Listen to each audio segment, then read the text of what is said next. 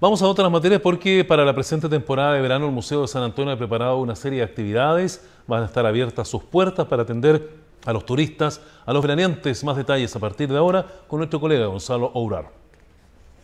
Así como están, eh, muy buenas tardes. Un lugar emblemático ya de la ciudad de San Antonio y de la provincia es el eh, Museo de la ciudad de Puerto, el cual recibirá a turistas, visitantes y a sanantoninos, especialmente durante la temporada estival este año 2018. Para saber cómo se llevará a cabo este proceso durante este año, las expectativas para este año 2018, vamos a conversar con José Luis Britos, director del MUSA, que a continuación entregará algunos antecedentes sobre lo que está ocurriendo. Lo molestamos, José Luis, está bastante ocupado, eh, han sido días eh, bastante agitreados. ¿Cómo se viene el año 2018 y también deseándole un feliz año 2018?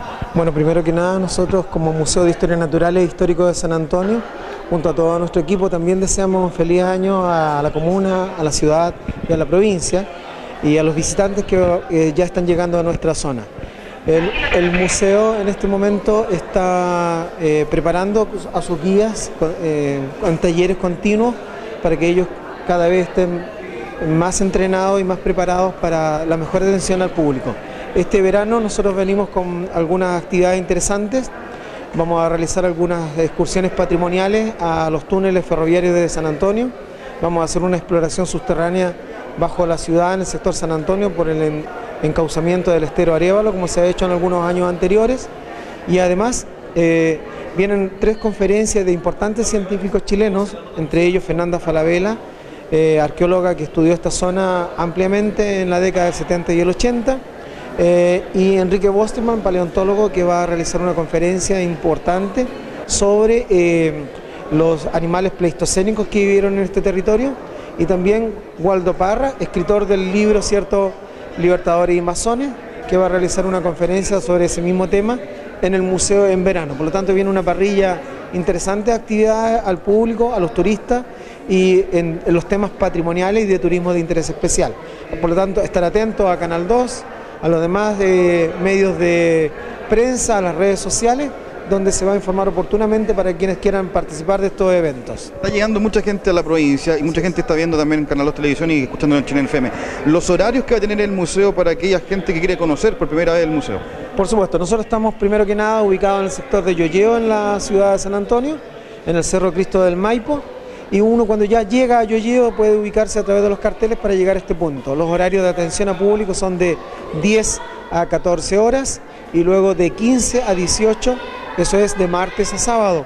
Y los domingos, si no son feriados o días especiales, de 10 a 14. Por lo tanto, es un amplio horario, amplios días y atendidos por guías que van a estar dispuestos, ¿cierto?, a atender al público, incluso en algunos idiomas extranjeros. Por lo tanto, estamos totalmente dispuestos a recibirlos y solo decirles que en el año 2017, mientras estuvimos abiertos oficialmente, recibimos casi 7.000 visitantes desde noviembre hasta diciembre y en total en el año con los eh, días que se experimentaron un poco más de 22.000 visitantes en total.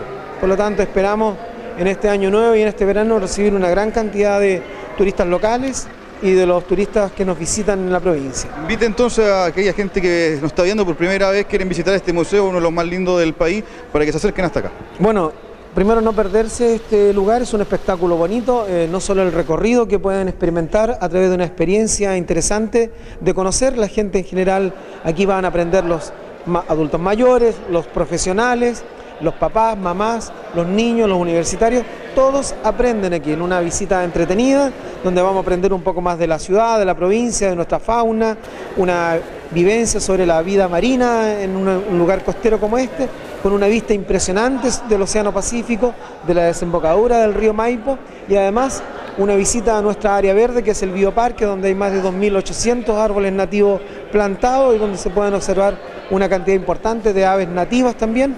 Por lo tanto, todo está preparado para que sea una visita entretenida, hay que venir con tiempo, dispuesto, ¿cierto? Eh, y por lo tanto, no se lo pierdan. Este es un lugar imperdible en verano. Mucho éxito y que tenga también un gran año 2018 junto a toda la gente que compone el museo. Muchas gracias a Canal 2, a todos ustedes que siempre nos, han acompañado y esperamos que nos sigan acompañando, difundiendo eh, el patrimonio y su cuidado. Muchas gracias, José Muchas gracias. Ahí está José Luis Brito, director del Museo de San Antonio, entregándonos cómo se viene este año 2018, especialmente la temporada estival, donde seguramente miles de, de turistas, visitantes y sanantoninos llegarán hasta el eh, Museo de San Antonio, uno de los más hermosos de nuestro país y de la provincia litoral de los poetas. Es lo que tenemos para entregarles. Adelante ustedes en los estudios centrales. Bien, está el informe de Gonzalo Obrar del Museo.